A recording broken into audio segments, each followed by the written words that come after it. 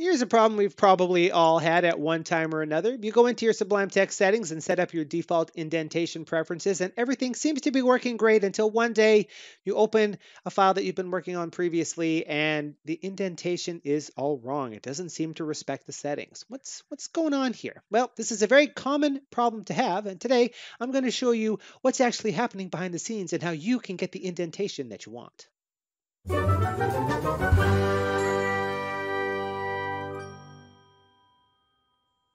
Hello, fellow Sublime Text fanatics. OdatNurd here. Welcome back to another Sublime Text tutorial video where today we're going to be covering why sometimes when you set the tab and indentation settings that you like, they don't always seem to be respected. Before we get into that though, just a quick reminder that tomorrow is December 1st. That means Devember is starting, the time of year where we spend one hour minimum every day for the entire month of December working on programming and talking about it. And I'm doing that over on my alternate channel, which is linked down in the description and in the end card theater at the end of this video, probably in a card up above my head right now while I'm saying this, where I'm going to be doing two live streams a week, minimum, uh, health permitting, working on a package in Sublime Text, a package that will actually allow you to manage your YouTube channel from directly inside of Sublime Text itself. Something I worked on last December.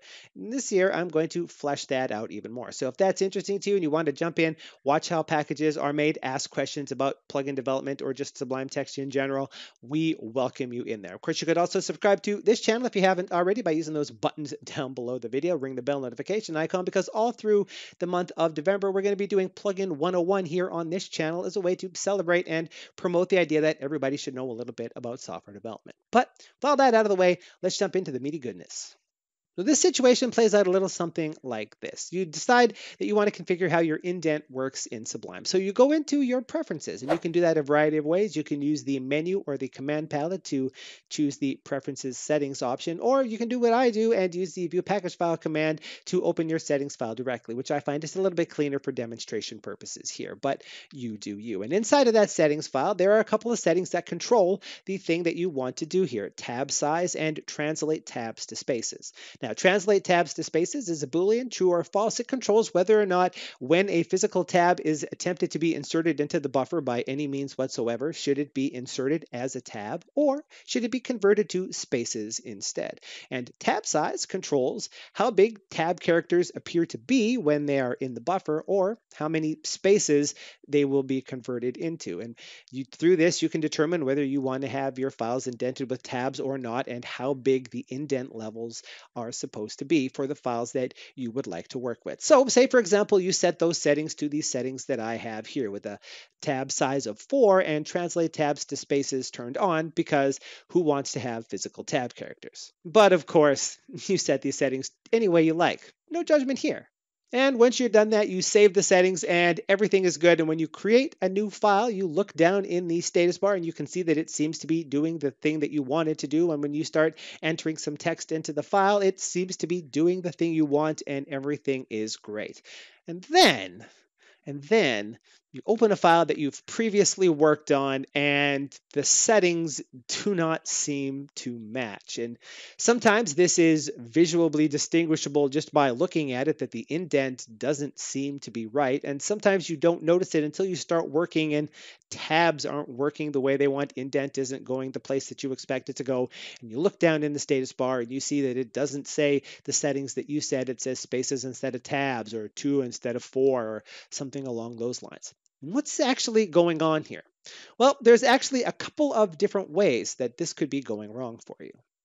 The most common of these two ways is this setting right here, detect indentation, which as we can see here defaults to being turned on. Now, what does this setting actually do? What it does is it tells Sublime that when it loads a file, it should examine the content of that file to try to determine how it's indented. Is it indented with spaces or is it indented with tabs? And is it indented two characters, four characters, eight characters, three characters? What's the value here? And once it gathers that information as a local setting inside of just that one file while it's open, it will change the value of the tab size and the translate tabs to spaces settings to whatever it was that it detected. Now, it does this for a couple of important reasons. Uh, one is that whatever you set those two settings to controls how Sublime indents files as you're working with them. It doesn't cause Sublime to modify the content of your file in any way. If you really want your files to be indented with one character tabs, then if you have existing files, it's up to you to modify those. Sublime's not going to modify them on your behalf, although you can use some of its options to make that task much, much easier. So as a sanity for yourself, the reason why this setting exists and is defaulted to true is because although you may intend for all files that you create to match a certain type of indent style because that's the way you work. That doesn't mean that you might not run across files created by other people or by yourself in the past before you adopted these settings that aren't indented that way. And you really do want the tab size and the translate tabs to spaces settings to mimic the file that you're actually in and not the style that you're working with right now. So this setting defaults to being turned on to make sure that the settings are always appropriate for what it appears to be uh, in the file so that that everything will work for you the way you like. But if you don't like that, if you'd rather have your settings always enforced no matter what, the easiest solution to this problem is to just jump into your preferences and turn this setting off. Now, the other way that this could be going wrong has to do with the fact that there's more than one place for settings to be applied. And this could be the case if you even you know, flip that detect indentation setting and it still doesn't seem to be working for you.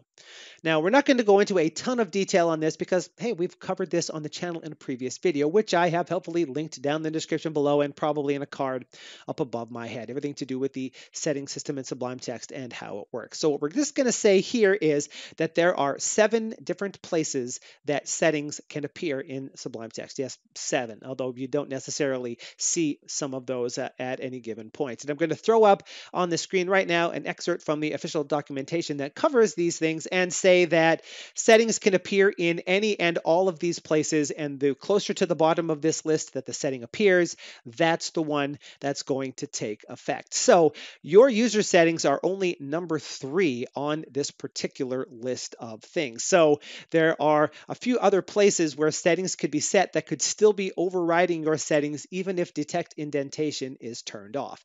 Now the two most obvious obvious of these, the ones that you're going to see are your project specific settings and your syntax specific settings. So in order to determine how this is uh, affecting you, think when is the indentation wrong? Is it right in a plain text file, but not in a Python file if you normally use Python, or a HTML file or CSS file if you're a web developer, something like that?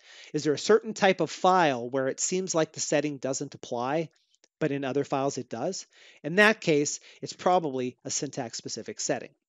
Or does it seem like it only works in one project, but not in another project? In that case, it's probably a project specific setting. Now, the way you would actually fix a problem such as this would be to open a file of the particular type and use the preferences settings syntax specific option to open the settings file that applies only to files of that particular type of file and put your desired indentation inside of there and that should solve your problem.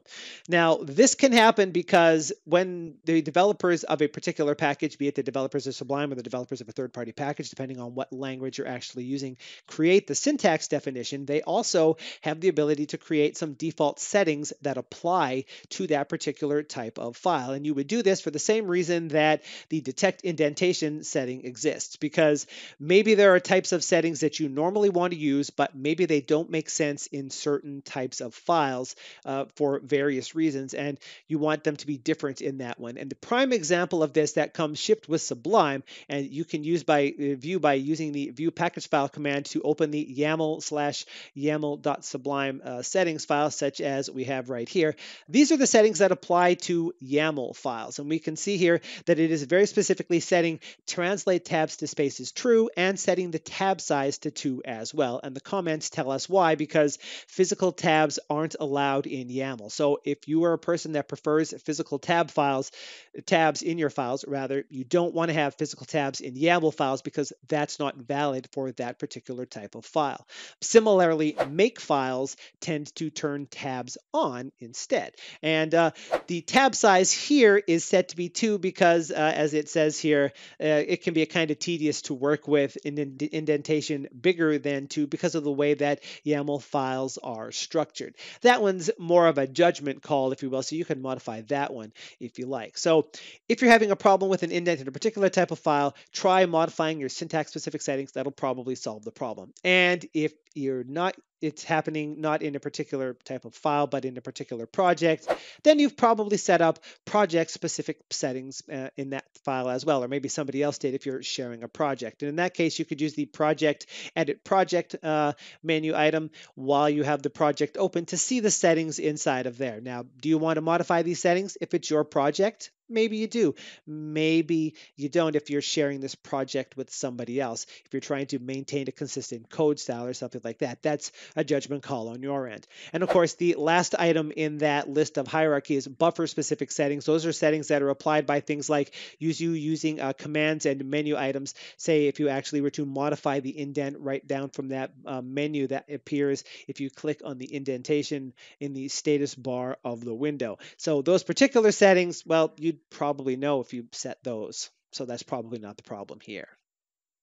Hopefully you've found this informative and it's solved your indentation issues. And uh, if it has, please use those buttons down below to thumb subscribe and share as you deem appropriate. Ring the bell notification icon if you'd like to be notified of new videos when they become available. And now that we're here at the end of the video, you can also see the link to my other channel if you'd like to participate in the live streams that I'll be doing all through the month of November. You can go ahead and subscribe to that channel too, or follow me on Twitter at OdatNurd. And until I see you next, wherever that is, this is OdatNurd asking you to please have a sublime day.